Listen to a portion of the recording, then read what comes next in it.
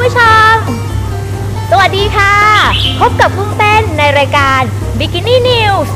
เซ็กซี่แต่ไม่ไร้สาระค่ะ วันนี้กุ้งเต้นจะพาคุณผู้ชมนะคะ ไปชมกับรถสปอร์ต roadster ค่ะ ซึ่งครองใจผู้ใช้รถที่ชื่นชอบการเปิดประทุนนะคะ ขับรถชมวิวทิวทัศน์ต่างๆ ค่ะ กับ Mazda MX5 นะคะ ที่เปิดตัวกับ generation ที่ 4 แล้วค่ะ ยังไงเราไปชมกันเลยดีกว่านะคะ Mazda Motor Corporation เปิดตัวรถสปอร์ต roadster Mazda MX-5 รุ่นใหม่ล่าสุด generation ที่ 4 อย่างเป็นทางการแล้วค่ะ โดยได้จัดงานแถลงข่าวไปแล้วใน 3 ประเทศจาก 3 ทวีป นั่นก็คือ ญี่ปุ่น สหรัฐอเมริกา และสเปน เพื่อให้แฟนๆ ของรถรุ่นนี้ได้ยนต์โฉมพร้อมกันค่ะ MX-5 รุ่นนี้มีความเพียบพร้อมทั้งเทคโนโลยี Skyactiv และเอกลักษณ์การออกแบบสไตล์ Kodoจิตวิญญาณแห่งการเคลื่อนไหวค่ะ รถสปอร์ต roadster รุ่นนี้มาพร้อมกับคำนิยาม Innovate in order to preserve โดยทาง Mazda มุ่งคิดค้นนวัตกรรมใหม่เพื่อตอบสนองในการใช้งานโดยเฉพาะ ซึ่งเน้นที่ความปลอดภัยและเป็นมิตรกับสิ่งแวดล้อม ขณะเดียวกันทีมวิศวกรยังต้องการให้ผู้ขับขี่ ได้รับความสนุกสนานเมื่อนั่งอยู่หลังพวงมาลัยรถสปอร์ตรุ่นใหม่ ซึ่งมีน้ำหนักตัวถังลดลงกว่ารุ่นเดิมถึง 100 กิโลกรัมค่ะ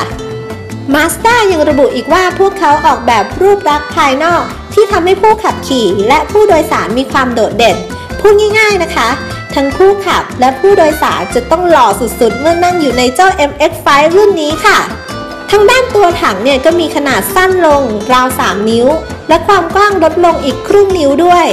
ทั้งภายนอกและภายในออกแบบให้สอดคล้องกัน เพื่อสุนทรียภาพในการขับ รอบสายลมแสงแดดเมื่อเปิดหลังคาค่ะ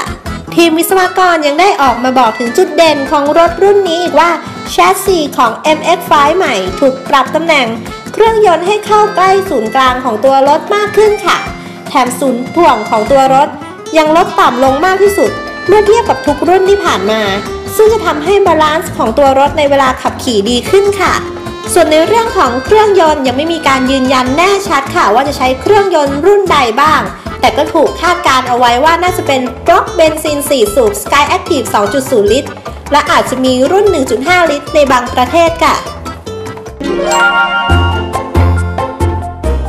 คุณผู้ชมก็ได้เห็นรูปและหน้าตาแล้วนะคะกับ Mazda MX-5 ค่ะสำหรับผู้ที่ชื่นชอบรถขนาดกระทัดรัดแบบนี้นะคะ และก็สมรรถนะดี รวมไปถึงสามารถเปิดประทุนได้ ก็ต้องเก็บตังค์ซื้อไว้แล้วค่ะ เพราะเชื่อว่า Mazda MX-5 นะคะจะเข้ามาในไทยเร็วๆนี้แหละค่ะ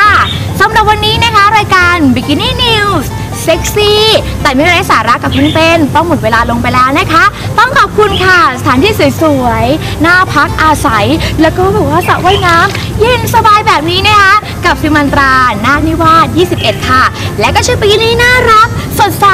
ฟรุ้งฟริ้งแบบนี้นะคะ กับบิกินี่แซนค่ะเจอกันใหม่ในวันพรุ่งนี้นะคะ กับรายการ Bikini News เซ็กซี่แต่ไม่ไร้สาระค่ะ สวัสดีค่ะ